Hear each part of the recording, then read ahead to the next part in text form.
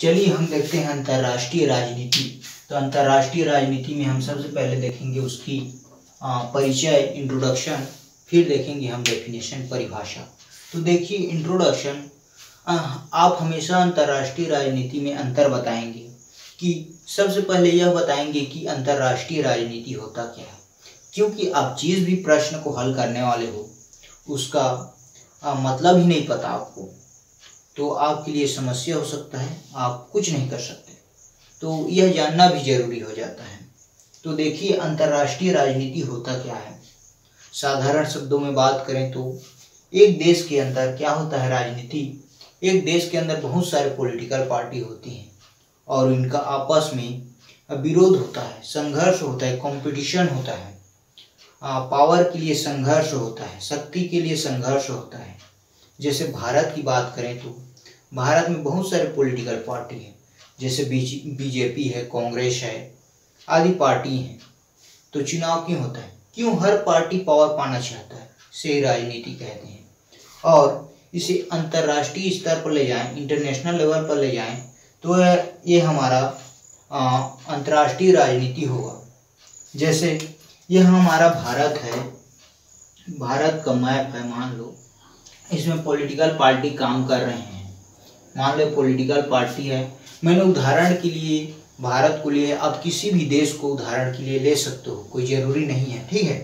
तो जैसे भारत है, इसमें जितना भी कंपटीशन होता है, जो भी कंपटीशन होता है, वो अंदरूनी होता है।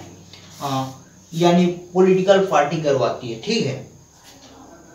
और क्यों करवाती है तो? पावर के लिए, ठीक है? तो इस संघर्ष को हम इंटरनेशनल लेवल पर ले जाएँ तो क्या होता है? जैसे मान लो, बहुत सारे देश होते हैं, अमेरिका, चीन, भूटान, श्रीलंका, पाकिस्तान, देश आदि बहुत सारे देश हैं, ठीक है? देश आपस में, जब देश देश आपस में पावर को हासिल करने के लिए संघर्ष करते हैं तो उसे हम अंतर्राष्ट्रीय राजनीति कहते हैं। आपने देखा होगा अमेरिका और चीन के बीच संघर्ष चलता रहता है। तो क्यों करते हैं?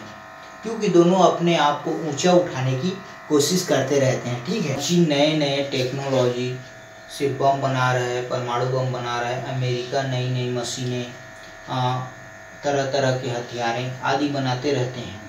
क्यों करते हैं? परमाणु परीक्षण करते हैं। वे इसलिए करते हैं ताकि दूसरे देश को दिखा सके कि हमारे पास इतना पावर है।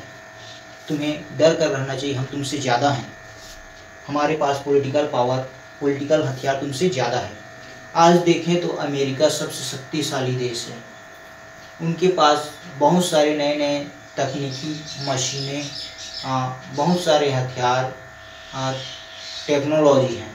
कहने का मतलब यह है कि अंदरूनी तौर पर, अंदरूनी चीज़ को हासिल करने के लिए संघर्ष करते हैं।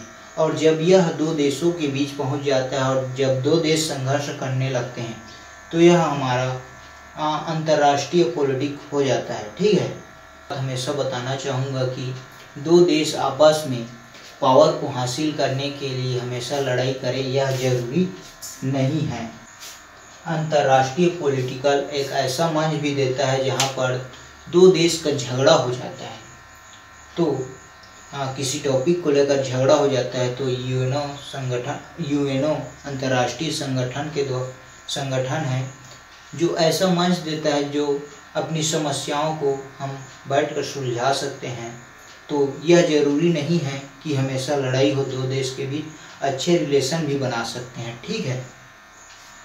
ठीक है? वो इसका मीनिंग आपको अच्छे समझ आ गया होगा। ठीक है?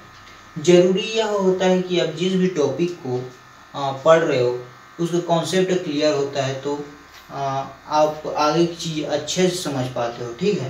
तो चलिए हम आगे बढ़ते हैं, आप देखते हैं परिभाषा। ठीक है, परिभाषा देखते हैं। मार्गेंथाव के अनुसार राष्ट्रों के मध्य शक्ति के लिए संघर्ष तथा उसका प्रयोग अंतर्राष्ट्रीय राजनीति कहलाता है, ठीक है? दूसरा परिभाषा देखते हैं, चार्ल्स स्लाइजर के अनुसार अंतर्राष्ट्रीय राजनीति में विभिन्न राज्यों, अंतर्राष्ट्रीय संस्थान तथा अधीन जनता के संपूर्ण संघर्ष संबंध समाविष्ट होते हैं ठीक है, इनकी परिभाषा है दोनों।